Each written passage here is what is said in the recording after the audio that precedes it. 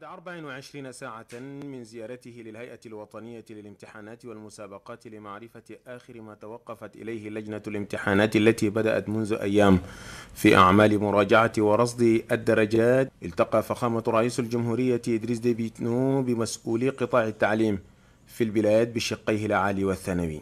لقاء بحث مجمل المواضيع العالقة بالتعليم سيما التخصصات العلمية التي تعاني منها المدرسة التشادية.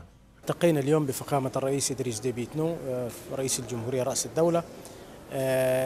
قدم لنا فخامة الرئيس لاحظ أن التعليم على الرغم من الجهود المبذولة من قبل الدولة في كثير من المجالات ظل التعليم يراوح مكانه. فخامة الرئيس ركز خاصة في مسألة تعليم المجالات العلمية. هناك عدم اهتمام للتلاميذ للأقسام العلمية وبالتالي هناك نقص كبير الآن في الطلاب الذين يسلكون مسالك علمية في التخصصات سواء كان في الأحياء في الرياضيات وغيرها. ولذلك فخامة الرئيس أعطى توجيهات صارمة من أجل أن تقوم وزارة التربية الوطنية وترقية المواطنة ووزارة التعليم العالي باتخاذ كافة التدابير والقيام بما بكل ما يجعل الطالب يهتم بمجال التعليم العلمي. اللقاء الذي حضره وزير التعليم العالي ووزير التربية الوطنية وترقية المواطنة ومساعد رئيس الجمهورية في الأمانة العامة والمكتب المدني ومستشاره التربوي قدم فيه فخامة رئيس الجمهورية توجيهات لمسؤوليات التربية. نحن فعلا ندرس لكن نخرج أناس في في مجالات أدبية بالأكثر.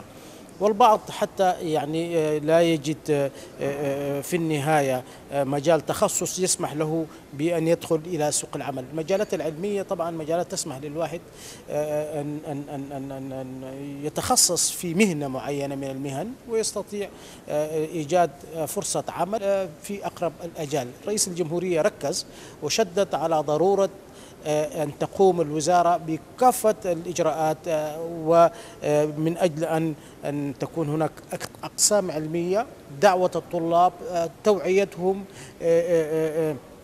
محاولة جذبهم إلى التخصصات العلمية. اللقاء طرح أيضا التركيز على دور المعلم وتدريب الأجيال وتوجيههم بالإضافة إلى الواجب الذي يقع على عاتق عمال هذا القطاع الحيوي. التطرق إلى عدد من مشاريع الاستثمار بين البلاد والجمهورية التركية عبر شركة سوما التركية للإنشاءات هو فحوى المقابلة التي جمعت فخامة رئيس الجمهورية إدريس ديبي إدنو والسيد أحمد أنفار سيان المدير العام النائب لشركة سوما التركية. وتعتبر هذه المقابلة الثانية من نوعها بعد الزيارة التاريخية التي قام بها الرئيس التركي طيب رجب عردوغان إلى البلاد والتي تمخض عنها عدد كبير من الزيارات لرجال الأعمال من جمهورية تركيا إلى تشاد.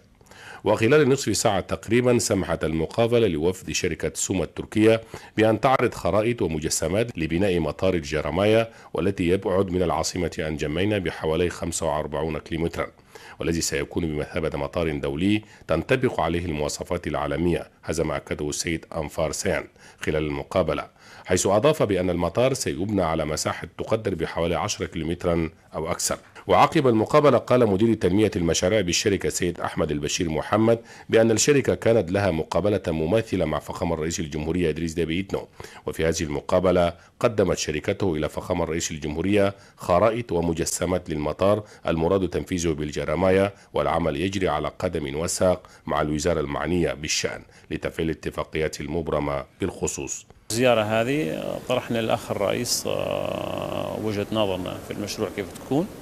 ووضحنا له اعطيناها في الخرائط والمستندات إيش نظرتنا كيف يكون ممكن الاستثمار في موضوع المطار وفي موضوع موضوعات أخرى إن شاء الله. بالتأكيد نعم في في إن شاء الله يعني حيكون فيه تعاون جاد وأحد الوزراء إن شاء الله حيكون على تواصل معنا بخصوص المشروعات المقترحة بإذن الله تعالى.